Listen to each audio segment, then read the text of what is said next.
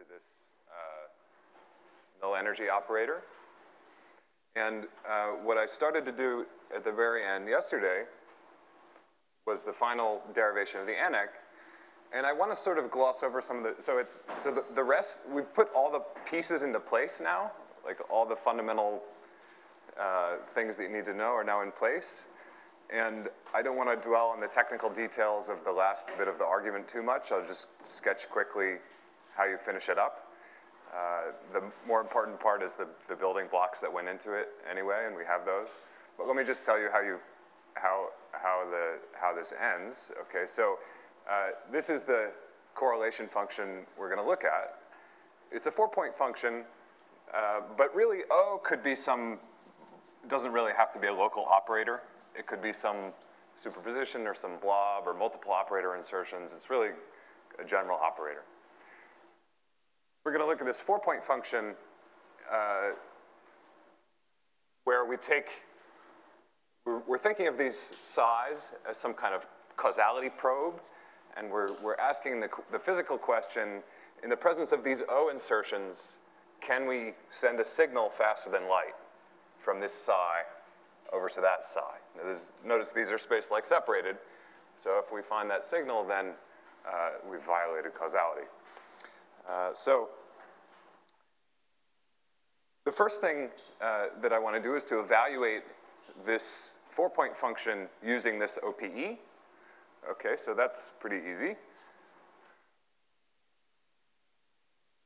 Evaluate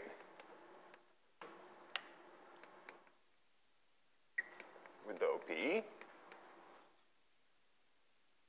O psi psi O uh, just gets a disconnected term, which I'll normalize to be 1, and then a contribution from the null energy operator.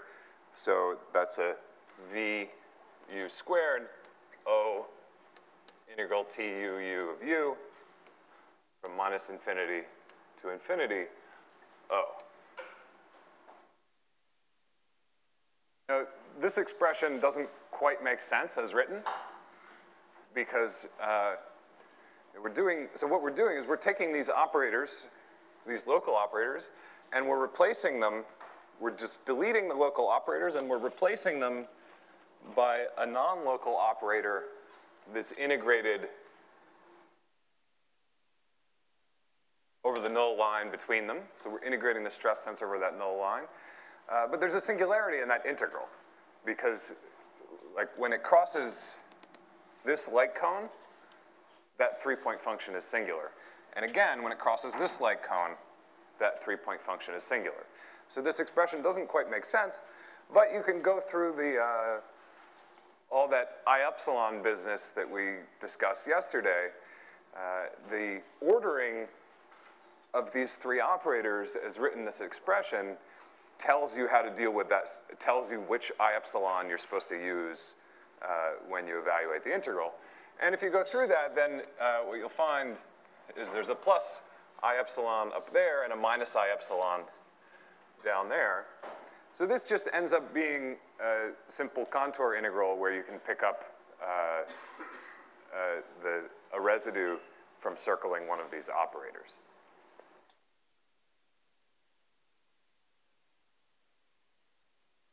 Oh, yeah, I, yeah, yeah, I've dropped some, some constants here. There's a delta psi over CT, and there's probably some pi's and stuff too that I haven't written.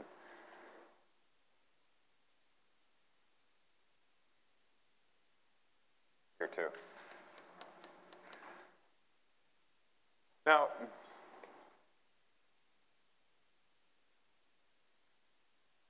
if we had changed the operator order around, like this, then we would have gotten a different answer. So I've switched, I've switched two of the operators here. You can still evaluate this using the OPE, uh, and the expression is almost the same.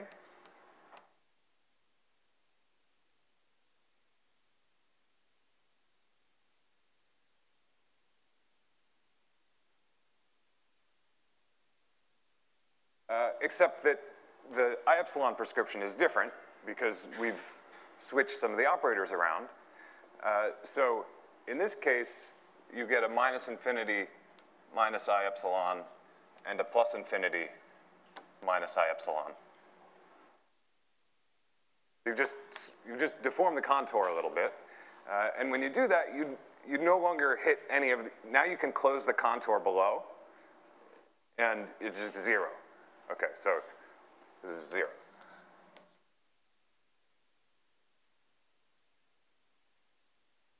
This is just one contribution to the OPE. The correlator is not actually zero, of course, uh, but the point is that this, this term that we're interested in, this term that's, uh, that's small in the light cone limit, but enhanced by positive powers of u. You know, v is getting small, u is getting big. Uh, so this enhanced term is, is not present in this other correlator. Now, if we go back to what I was talking about yesterday, this is the one that's Rindler. This is the one that's positive uh, by Rindler reflections. Okay, so let's see why that is. Uh, so I've ordered them O psi, O psi. And remember we said that when, when things are reflection symmetric across the Rindler horizon, there's an ordering that's, that must be positive by unitarity. Uh, and the, the specific ordering was the one where you just order the things on the right and the things on the left in the same, you just write them in the same orders. Okay, so this is the Rindler positive one. And what that means is that this one is bounded by that one.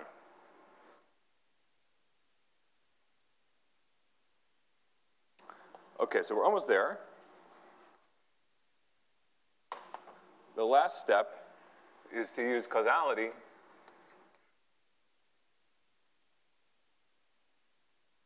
discuss causality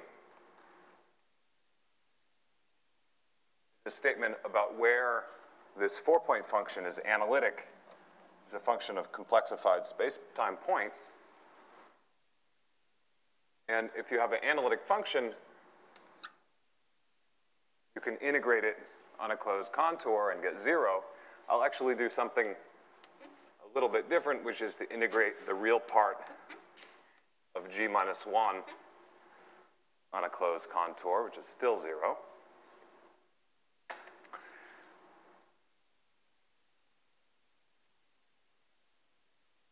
we define u to be 1 over sigma, then the contour that I'm going to pick looks like this.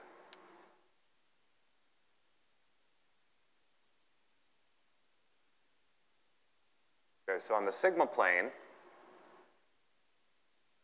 it, it's, it takes, okay, it's, it's not easy to get a picture of this in Minkowski space, but I'll try. So if we go over to our Minkowski space picture, what this integral is doing is it's, it's integrating, it's in, so the, the straight part of that integral on the bottom, that's real sigma, so that's in regular Minkowski time. So this is the straight part.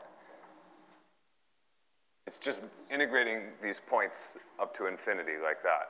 That's the, that's this part of the contour. And then the arc, the arc um, sort of goes out into the complex direction out of the blackboard and connects the two endpoints. So the contour that we're doing uh, is it goes out to, it goes down to infinity, it does this arc out like that, and then back to infinity. It's inside out because u is 1 over sigma. Compared to that one, this one is, is sort of inside out.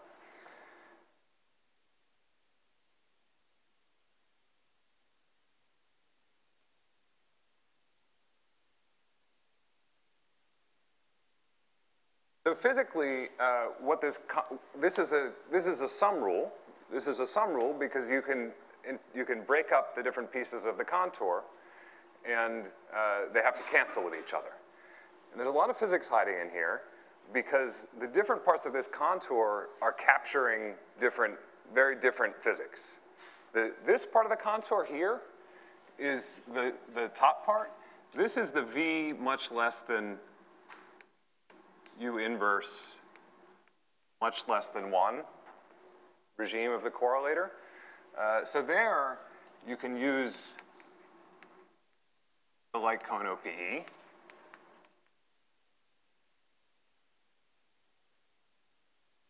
This is probing the infrared of the theory. We said the light cone OPE is, is, is um, given by low twist operators. So if you tell me the, the spectrum of low twist operators, then I can already calculate for you that light cone OPE. So this is really infrared. I don't need to know the details of the UV. Whereas down here, this is a limit where U and V are both much less than one, uh, but not in any particular, not in any particular ratio. So they could both, they could both be the same size. And down there, the OPE is no good.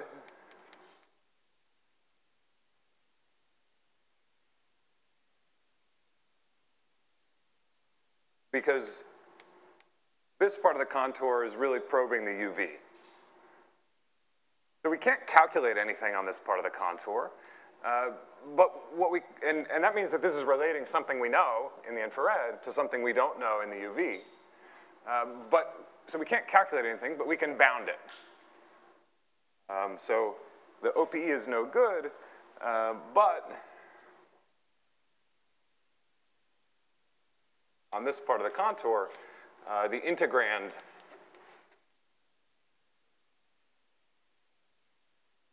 positive. The reason the integrand is positive is because the real part of G is bounded by the absolute value of G, and we said that the absolute value of G in any ordering is bounded by the positive ordering. And we said that the positive ordering was just 1. So the real part of G is less than 1. Going a little quick with the, the technical details, but, but hopefully the logic is clear. Uh, the logic is that in the infrared, we calculate things using the OPE. In the UV, we can't calculate anything, uh, but we can bound it by unitarity. So that's what's going, that's the input here. The input is unitarity in the ultraviolet.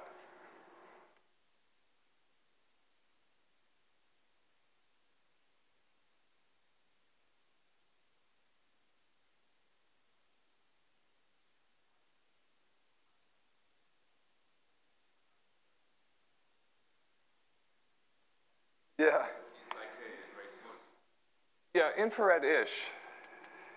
It's not really the infrared. So, it, so if we're doing a, if, say we have a CFT that's deformed by a relevant operator, then you might think the infrared is some gapped phase or something. It's not that infrared. It's still controlled by the UV fixed point. Uh, I really mean infrared in the sense of uh, low dimension operators of the UV fixed point. Yeah.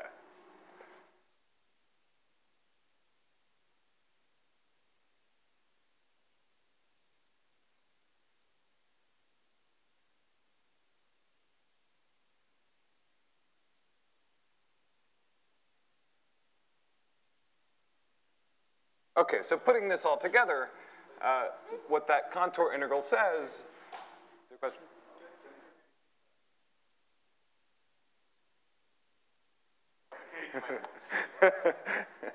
um, yeah, good.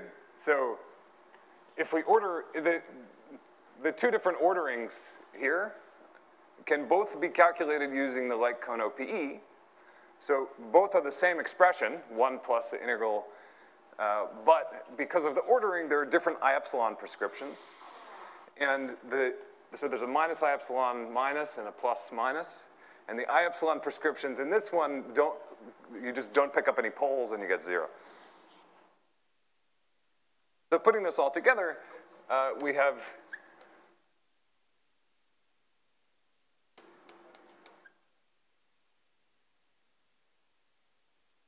an expression uh, for the null energy in the presence of the O insertion, which is an integral of positive stuff in the ultraviolet.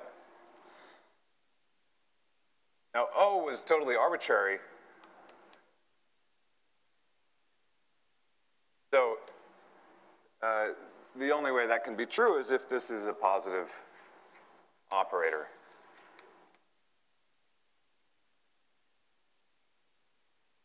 This script E being the uh, null energy operator. So that's the end of the argument. Um, let me pause there for questions. Yeah.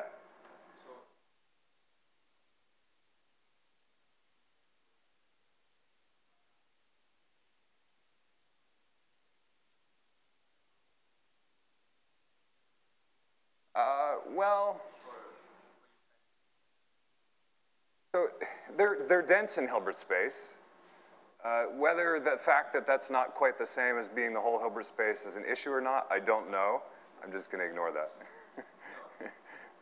they're dense in Hilbert space. You, you, can, you can make any state by acting with operators and um, acting with.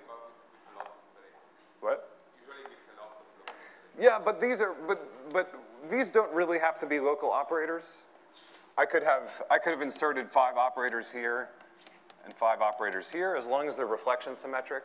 So that's what allows me to make basically any state this way.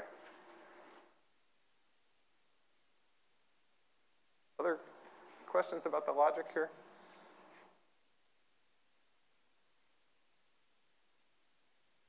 So let me, let me recap briefly. So, the, so uh, physics in the light cone limit is controlled by the null energy operator and sum rules which come from causality. So this is really, we, we use causality in an essential way here by using analyticity. Those sum rules coming from analyticity relate this thing you can calculate on the light cone to unitarity in the UV. That's the logic. Uh, if if, the, if, if you say that ANEC was, was violated, say that, say that you found a state where the null energy was negative, well, that would mean that somewhere in this domain here, the function is not analytic. So, uh, you know, if you, if you violate the sum rule, it means that you must have, well, either you have to violate unitarity in the UV, or you have to stick a singularity somewhere in here. If you put a singularity somewhere in here, then uh, what you've done is, is turned on a commutator where there's not allowed to be a commutator. So somewhere out here at very large U, uh, despite the operators being space-like separated, there would be a singularity and the commutator would turn on.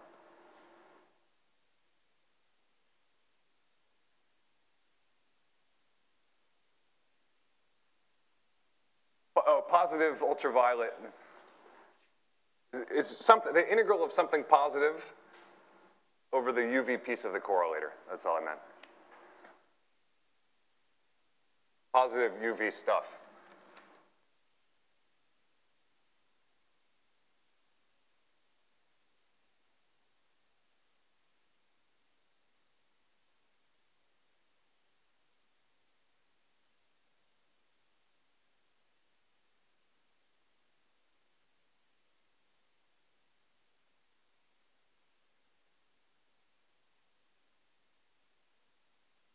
I want to briefly explain the relationship between this and some recent work on quantum chaos, and then we'll move on to talking about holography.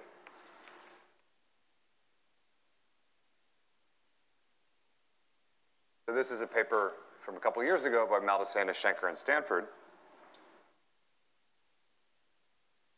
And uh, what they did is they studied four-point correlation functions in thermal quantum systems, they weren't, they weren't just doing quantum field theory. They were doing something very general that applies, that, that applies in condensed matter and just in quantum mechanics.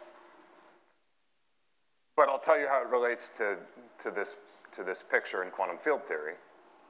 Uh, so to connect the two, um, all we need to do is to reinterpret this picture as a thermal correlator.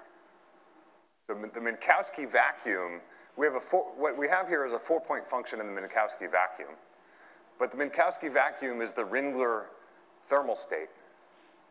So we can reinterpret this four-point function in vacuum as a uh, thermal four-point function.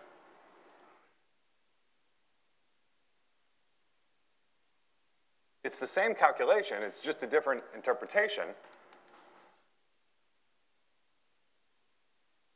Rindler coordinates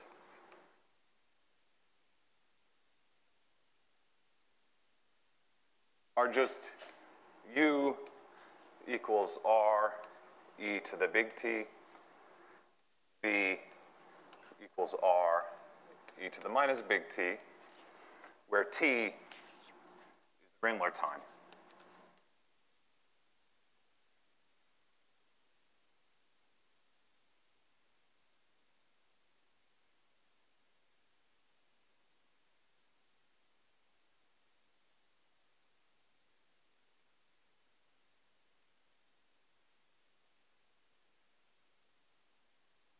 And now we're interpreting this as a thermal system at inverse temperature, beta equal to 2 pi.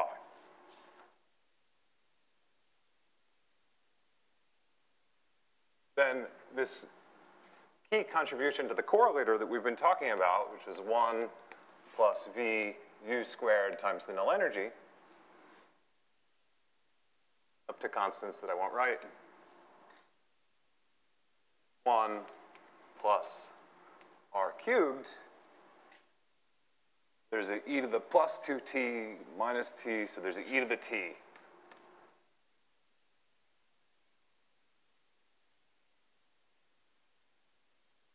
So when you reinterpret what's going on here. So what's going on is we, we, we take a null limit, and then as we, as we, so let's think of this now as a thermal system.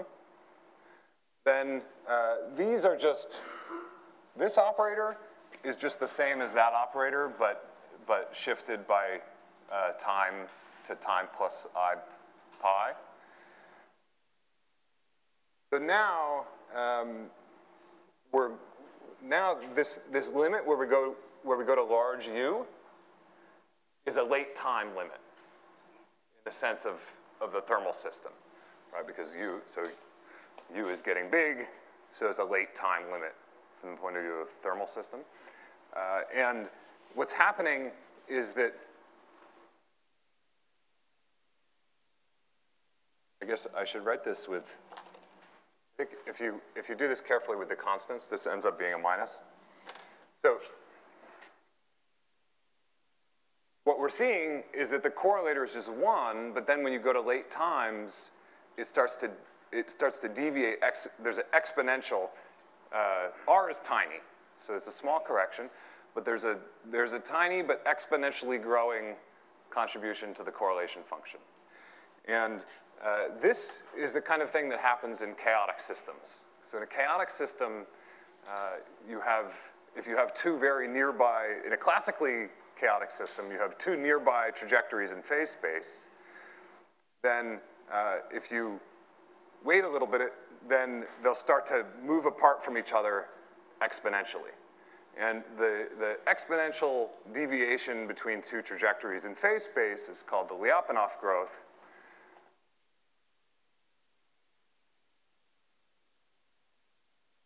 So in the context of quantum chaos,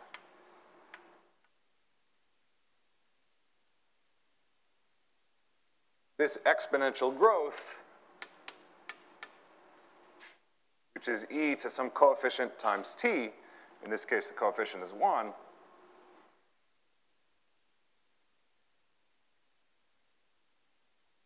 that's interpreted as a Lyapunov exponent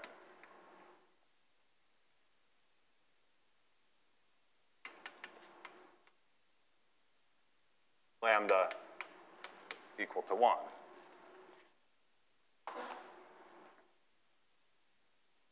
Now the result, okay, so there's a, so there's a similar result that applies not just in Rindler space, but uh, in general thermal quantum systems, and that's the bound that was proved by Maldacena-Shenker at Stanford.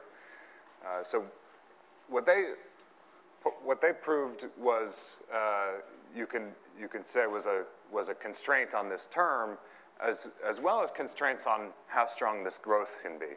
Now, I didn't talk about those, but some similar arguments to what I talked about also constrains how strong this growth can be. In fact, it can't be any bigger than one here.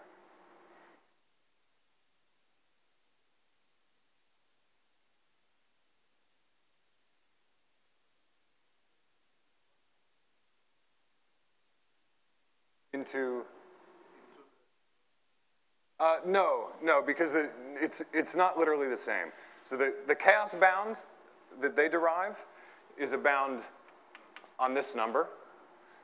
And uh, the NEC is a bound on, is a sign constraint on this number. But uh, if you go back to this contour that we were talking about a minute ago, uh, with a little more work, you can get both of those bounds from, from properties of that contour integral.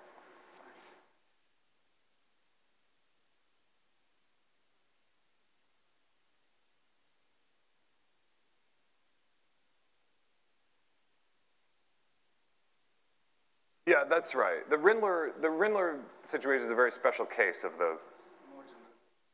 Yeah, that's right. Yeah.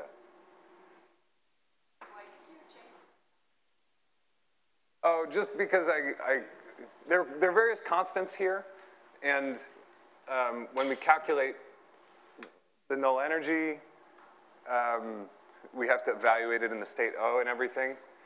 And when you, when you do everything correctly with all the constants, it ends up being, it ends up being a minus sign here.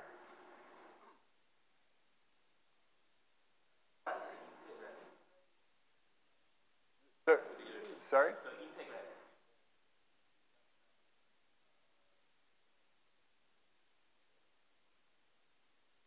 Oh, um, yeah, no, I, well, okay, it depends which way we do the contour and everything.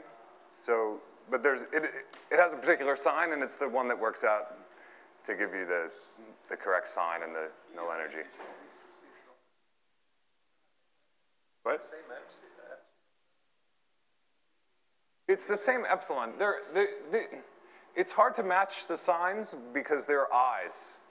So like uh, this Yeah, let me not, let me not try. There, there are i's in these expressions which are, yeah.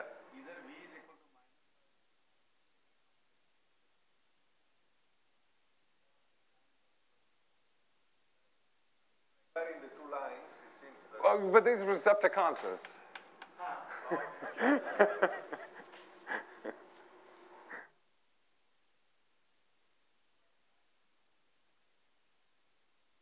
The Lyapunov is that? Uh, I don't know.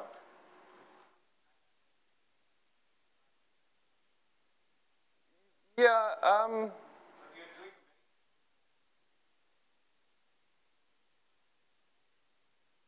yes. I, I don't know. I'm not sure what that means. Maybe it's related to what I'm going to talk about next. Um, so.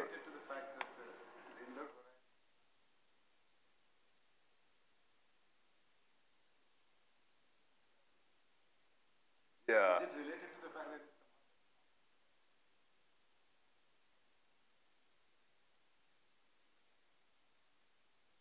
I don't know. Let's postpone this to the discussion. Maybe I can think about it before then. I, I don't think it's.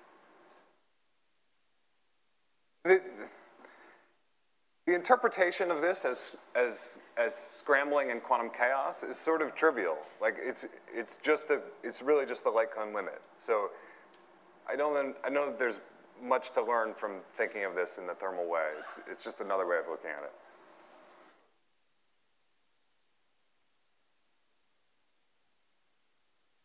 Sorry?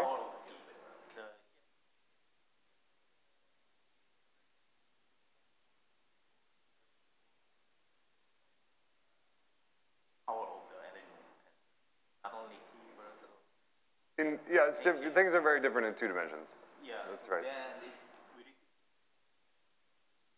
will, Uh, yeah, everything changes in, in, in two dimensions.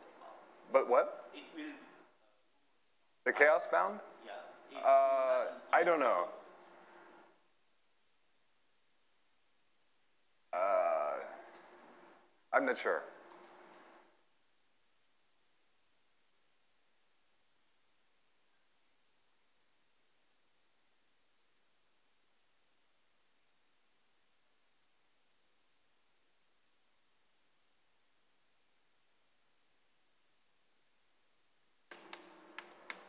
So I want to move on to the next point of view on this whole business, which is the holographic point of view.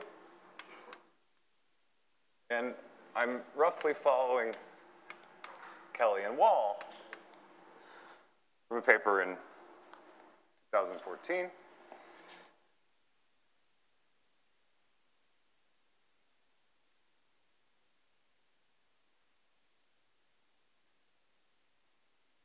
Before we get into it, uh, let me sort of tell you the, what the conclusion is going to be. It's going to be that in the light cone limit, uh, holography and the OPE are kind of the same thing.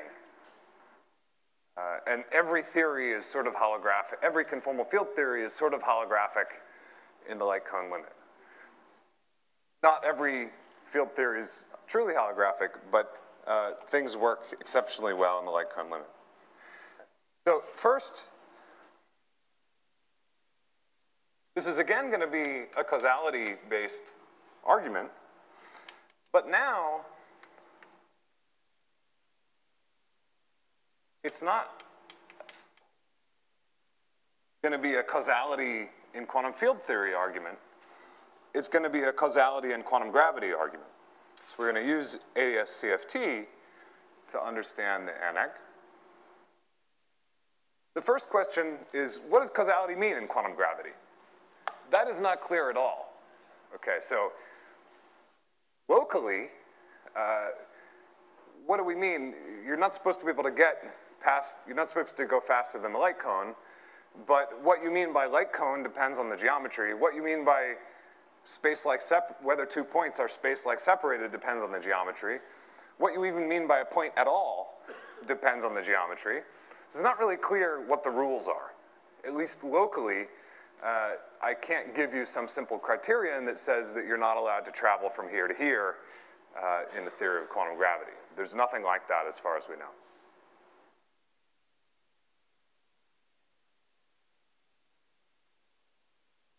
We don't really know what causality means. There are other reasons to think we really don't know what causality means in quantum gravity. Uh, one is the black hole information paradox. So when a black hole evaporates, uh, if the information is to get out, that is a causal. I mean, if you draw the Penrose diagram, you have to have some kind of causality violation, at least non-perturbatively, non-perturbatively in quantum gravity. Uh, so whatever the answer is, it must be something very subtle. But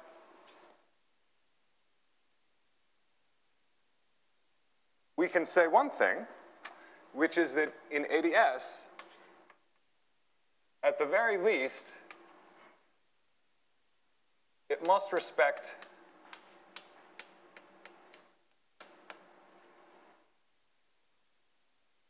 the boundary causal structure.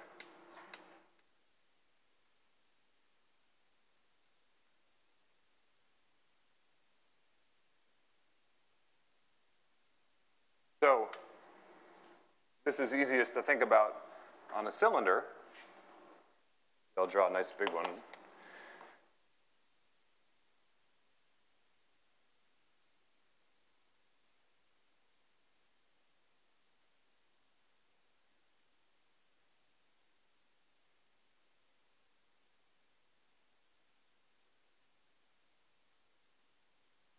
Okay, so that's ADS. Uh, and suppose that you send a signal from the boundary of ADS. It goes through the middle, through the bulk.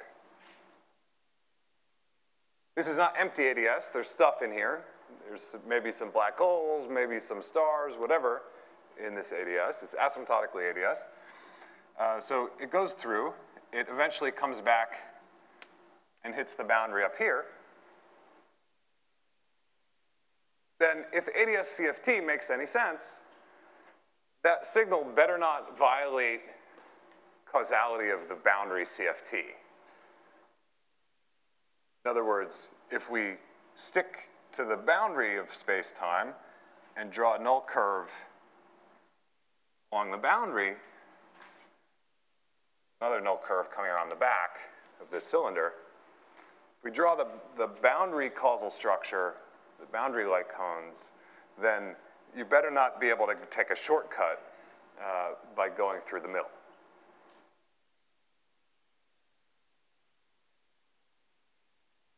This is the boundary light cone.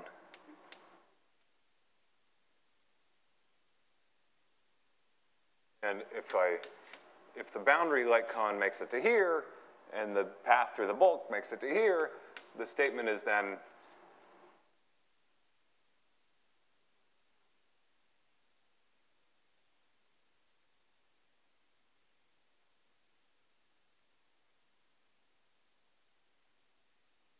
that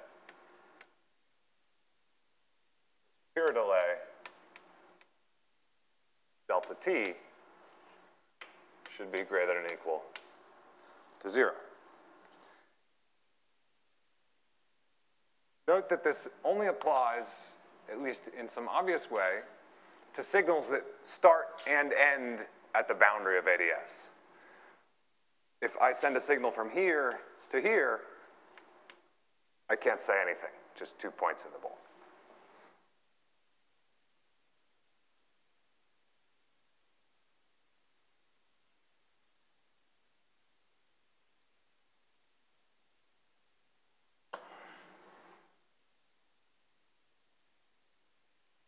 So what we're going to do look at the propagation of signals very close to the boundary.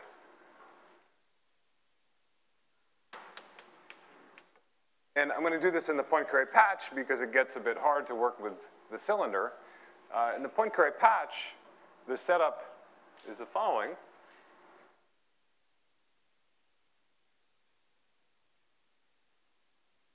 So here's the boundary.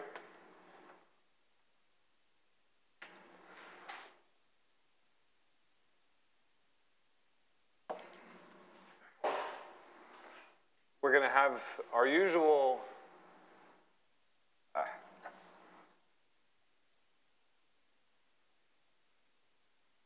U and V directions, which are light cone directions on the boundary.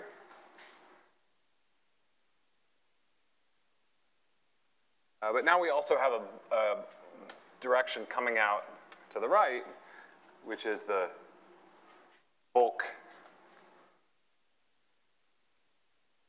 Z direction.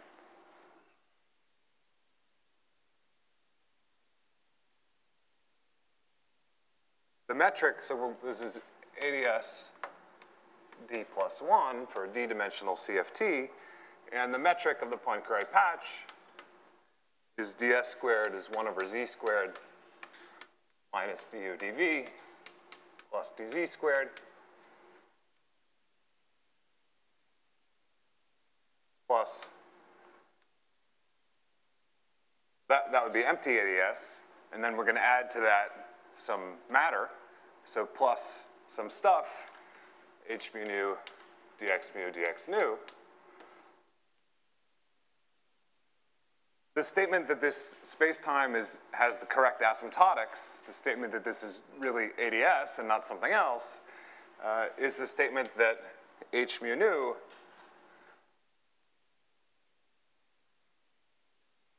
starts at order z to the d minus 2.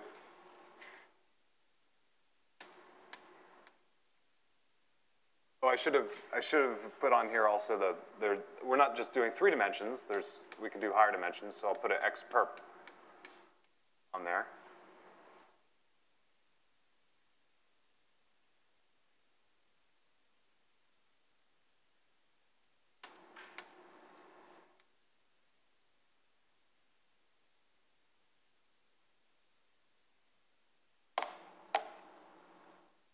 Okay, so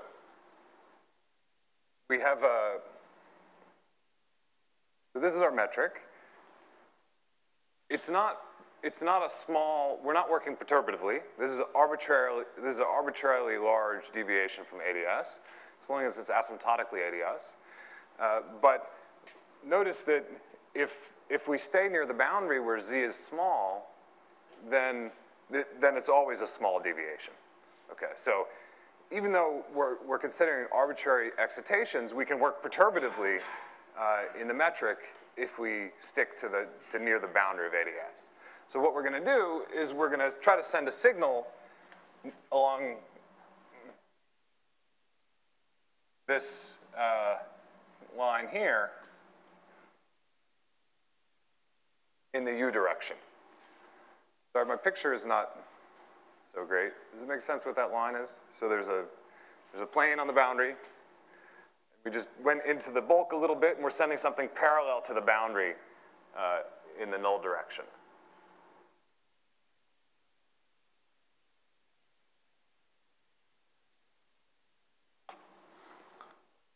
So this is a particle at fixed z naught and x perp, fixed z equals z naught, x perp equals zero. It, it's not a geodesic. You can work with geodesics, but we don't need to. You know, it's, it's not only particles on geodesics that have to obey causality.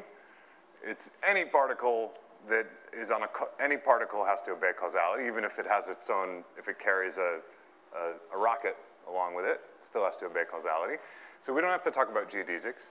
We could just talk about a causal curve, which I'll parameterize as v of u.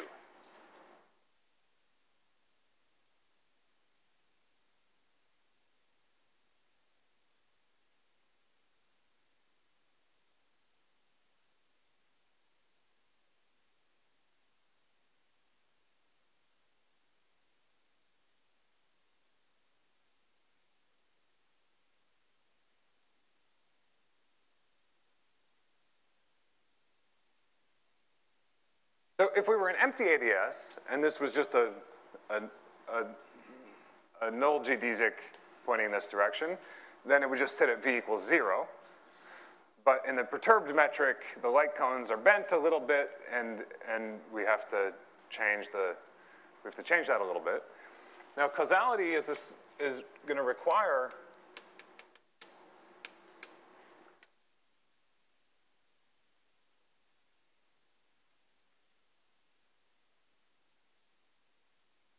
that uh, the total delta V, which is like, this is the time delay, it's the deflection, as, as it's going this way, it has some deflection in the V direction. The total deflection, the V direction has to be positive. If the total, so it's, if you project this onto the boundary, it's sort of headed along this way, and it's getting, it can get delayed in the V direction, uh, but it can't get pushed forward.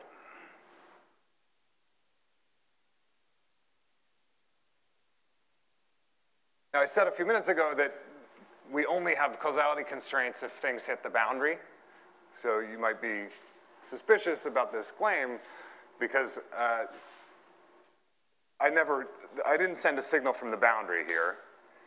Um, but actually, you can't tell from this coordinate system, but actually this does hit the boundary because if you sit at fixed z in the Poincare coordinates, and then you go all the way to infinity in one of the space, in one of the boundary directions, that does hit the boundary. Okay, so it's hard to tell. It's easier to see on the, on the cylinder. So uh, this is the, this is the path of um, that particle, and when you go all the way to, to u equals infinity, it's hitting the boundary up here. So this bound, this causality criterion does apply to this curve because particle hits the boundary at u equals plus minus infinity.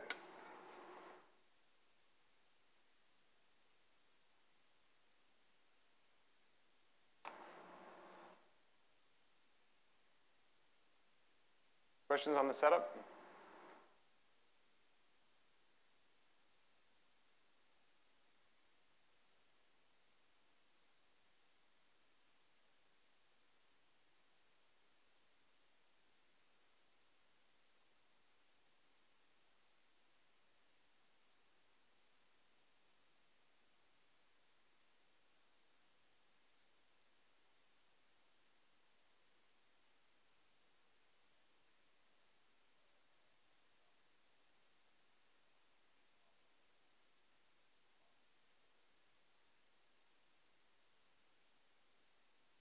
Uh, I'm not sure I understand the question. I mean, the like uh, part B of box. Um, So, I mean, the what is because that? my case, I need to. I mean, not, not all particles hit the boundary. So I, I, you can have a particle that just sort of bounces around in the middle. Not all particles hit the boundary. So it's important that we, we chose a path that does hit the boundary.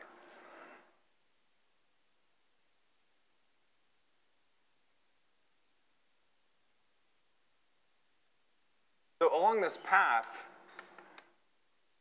which we'll pick to be uh, just along the light cone, so ds squared is zero, and along this path, that's just one over z naught squared minus du dv plus huu du squared plus higher order terms. These are the only terms that matter along the path. Uh, and so we can easily solve for the, for the light cone here. We just we want this to go along the light cone, uh, then we should just pick the path where v prime of u is z naught squared huu.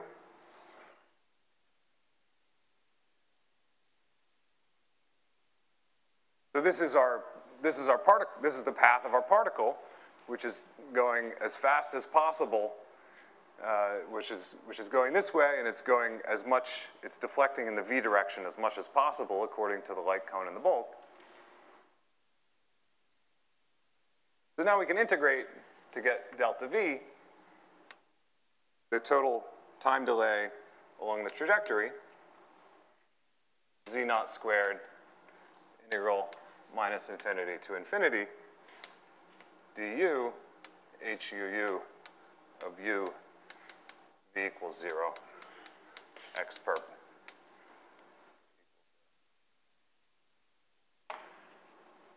I've worked perturbatively here because we're working near the boundary. It's, it's, not the, it's not the smallness of h that's making this possible, it's the smallness of z that's making this possible. Well, h is, h is small near the boundary.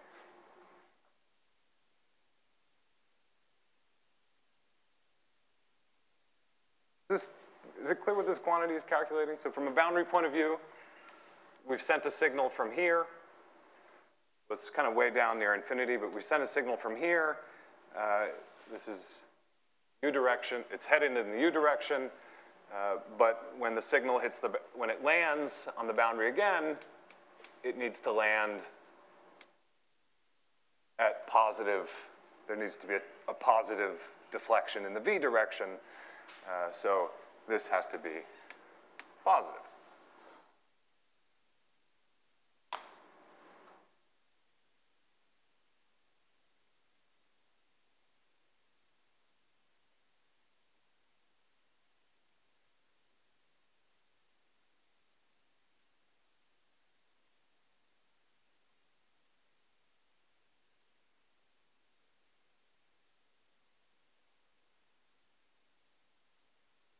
Okay, so that's our, in gravitational language, that's our answer. That this path that we're talking about is causal uh, if and only if this integral is positive.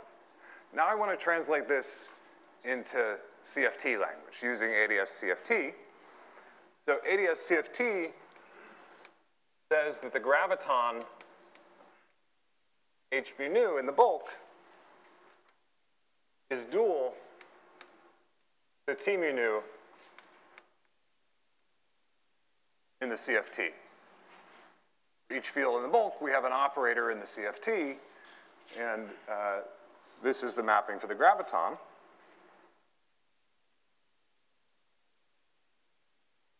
And this geometry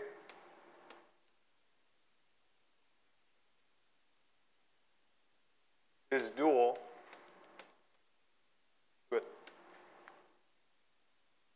state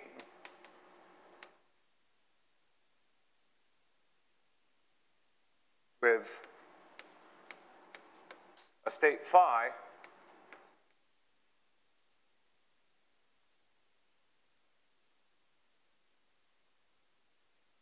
with some expectation value for the stress tensor. Okay, so if, if the graviton is dual to T mu nu, and we're talking about a, a geometry where the graviton is turned on, then that means we're talking about a CFT state where the stress tensor is turned on.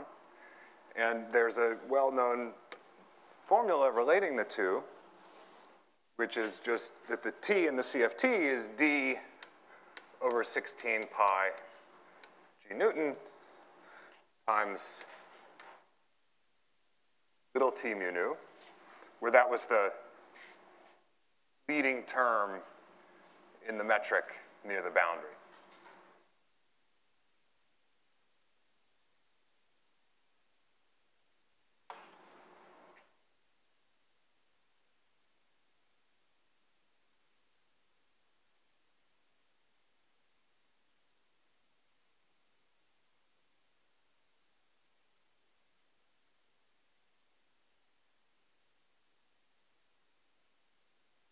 If we take our expression for the Shapiro delay and translate that into CFT language,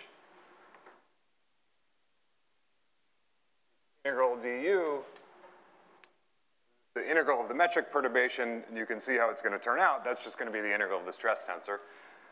So this is the integral du, the expectation value of t uu CFT.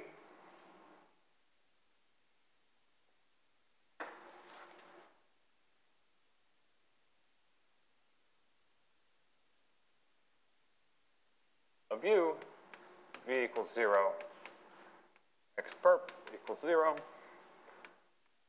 phi.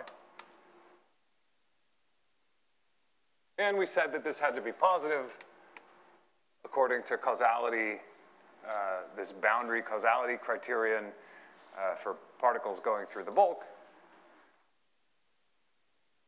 That's exactly the average null energy condition. That's it. That is the whole argument.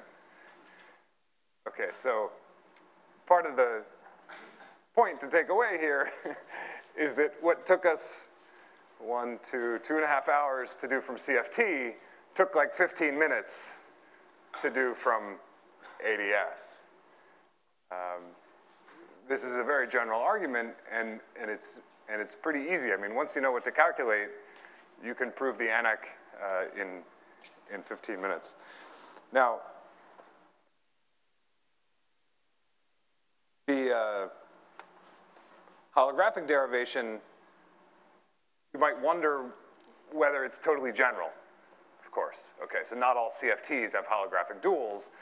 Uh, certainly not all CFTs have some Einstein gravity living in ADS that describes them. Uh, but a, a, a, rough statement, which I, I, can't really make this statement totally precise, uh, but we'll see some ways in which it's true, uh, is that in the light cone limit, uh, all theories are holographic. That, that uh, in the light cone limit, when things are, another way of saying it is the following. If, if things are controlled by the OPE, that means, that means they're being controlled by conformal invariance. And if they're controlled by conformal invariance, you might as well calculate them in ADS. Because uh, anything that you, if, if you calculate something in ADS and it's controlled by symmetry, then it's true not just in theories with an ADS dual, but in all theories, as long as it's something controlled by symmetry like these OPEs.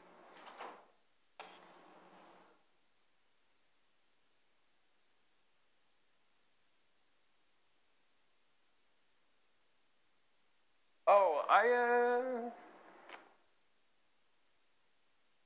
I think this is any dimension, although I can't remember if there, there might be something special that happens in three dimensions. I, I, I can't quite remember. I think it might be in any dimensions.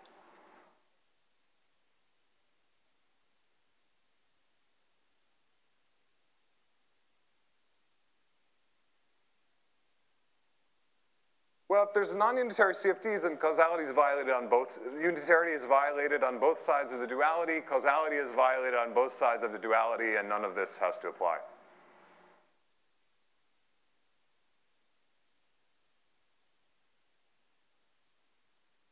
Okay. Um,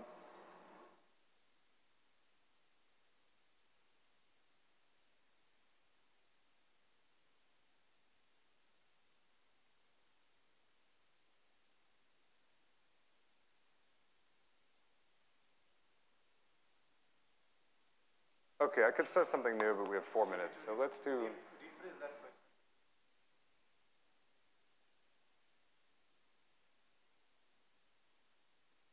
The question, the question is, does this prove that non-unitary theories can't have a gravity dual? Cannot. Um, cannot, right. Um,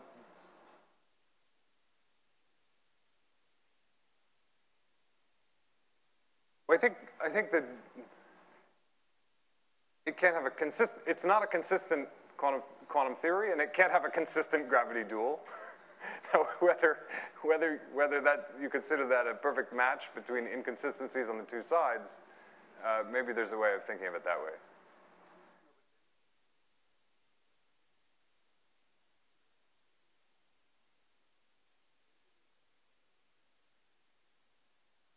Gravity dual? Well, I said that particles in the, in the bulk had to, were constrained by the light cone. So I've assumed some consistency of the, of the theory in the bulk in uh, writing down, in solving this, solving this equation. This was a bulk calculation of where the particle is allowed to go based on the bulk light cone. So if you allow the bulk theory to be sick, then I don't know what the rules are here. Maybe we could just make V do whatever we please in the bulk, and, and then we could get things to be violated on the boundary.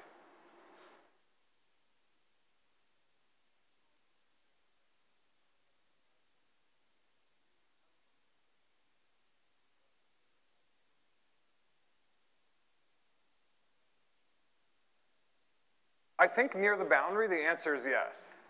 I think if you're, I think in some sort of approximate, some near boundary sense, the answer is yes. Um, I, I don't have a, maybe it's not yes in a completely precise way, but it's yes in the sense that everything seems to match if you can, if you can do the calculations. And uh, yeah, it's really, it's only when it's only when higher operators, so if you think of it as a field theory calculation, it's only when higher, uh, higher dimension operators and double trace operators start to enter your calculations, it's only then that you notice whether your theory is truly holographic or not. So as long as you do calculations like this that are only sensitive, say, to the stress tensor or the stress tensor two-point functions or even the stress tensor three-point functions, then you, you can't really notice that your theory is not holographic so that the, the, the ADS calculations give you all the right answers.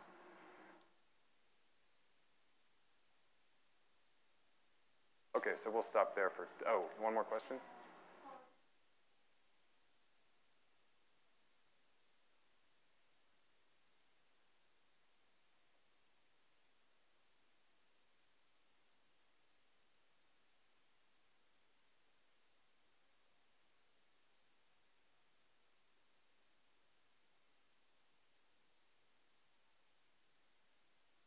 Yeah, that's right. So the question is, why does this work, seem to work in ADS3?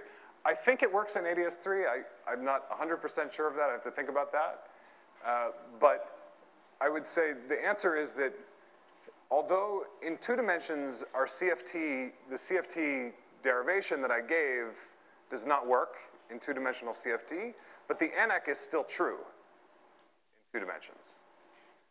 So it's okay if we can derive it from holography, uh, since it's still true, but, th- but the derivations don't map onto each other perfectly.